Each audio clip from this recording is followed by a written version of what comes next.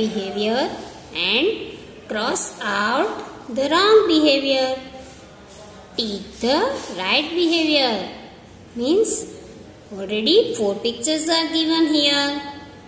यहाँ पर four pictures दिए हैं तो उसमें से राइट बिहेवियर कौन सा है और रॉन्ग बिहेवियर कौन सा है पहले तो हम वो देखेंगे फिर जो राइट बिहेवियर है, उसको हमें क्या करना है टिक करना है और जो रॉन्ग बिहेवियर है उसको हमें क्रॉस आउट करना है। ठीक है? Yes you can see this picture आप ये पिक्चर देख सकते हो। यहाँ पर देखो two boys are fighting with the toys ना?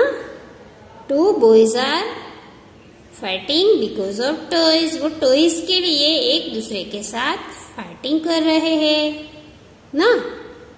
क्या हमें ऐसे टॉयज के लिए फाइटिंग करना चाहिए? No we have to share our toys we have to share our toys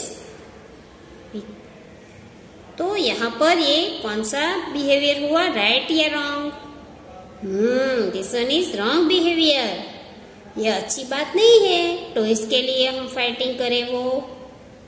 So we have to put cross out here यहाँ पर हम क्रॉस करेंगे, ठीक है? Then in the second picture you can see in this picture is a one classroom teacher is teaching the students यहाँ पर teacher जो है, वो अपने स्टूडेंट्स को लेसन सिखा रहे हैं, ना? वो लर्न करा रहे पढ़ा रहे हैं ना?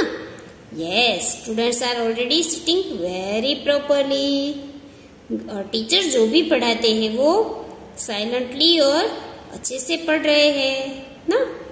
तो ये कौन सा बिहेवियर हुआ?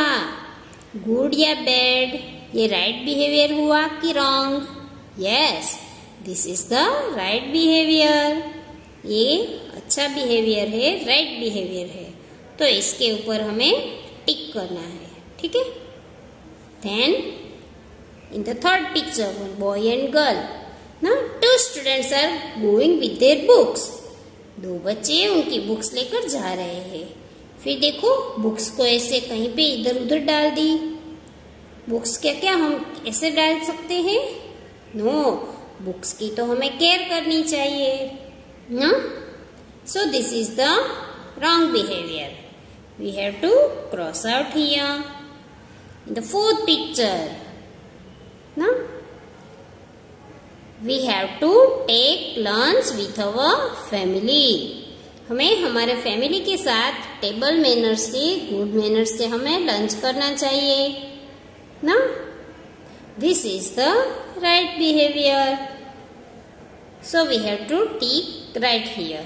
ठीक है जो राइट बिहेवियर है उसमें हमें टिक राइट करना है और जो रॉन्ग बिहेवियर है उसमें क्रॉस आउट करना है, ठीक है